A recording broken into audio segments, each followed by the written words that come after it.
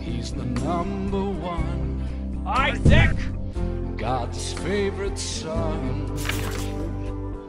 His flowing rose reached down from.